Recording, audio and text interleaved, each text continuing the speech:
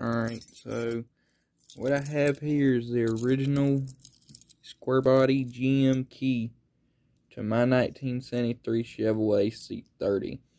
Now, the reason I haven't been posting much of my C30 is because, for one, it's been in the shop for since April of last year. Because it's been a slow process of restoring it, and I haven't had to um, undo it and help with it. And the guy we have doing it, he's doing it in his spare time. Whenever he's working on week, whenever he's not working on weekends or anything like that, because he works at a body shop.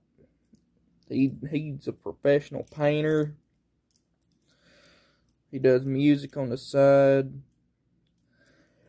He's working on his own square body, and he was generous enough to lend parts from his truck that he's LS swapping for mine. Most some of his old parts as I ended up on my truck helped me out. And in total we have over uh, we stopped counting at 12 or 15,000.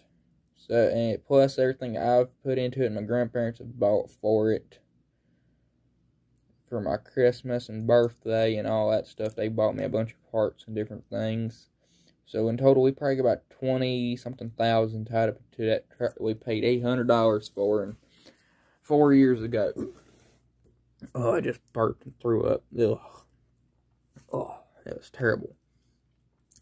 Anyhow, it's 3 a.m. Got bored, can't sleep, so I figured I'd make a little video.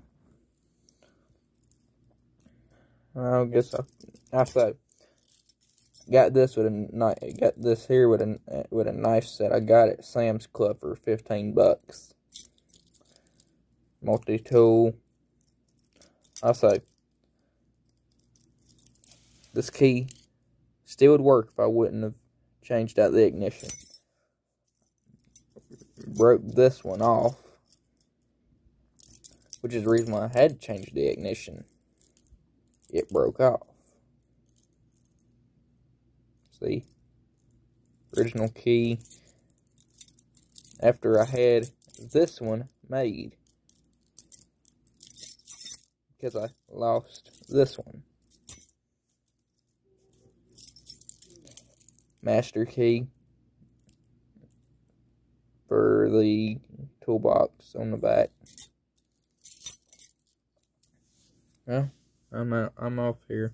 I guess I'll catch you on the flip side.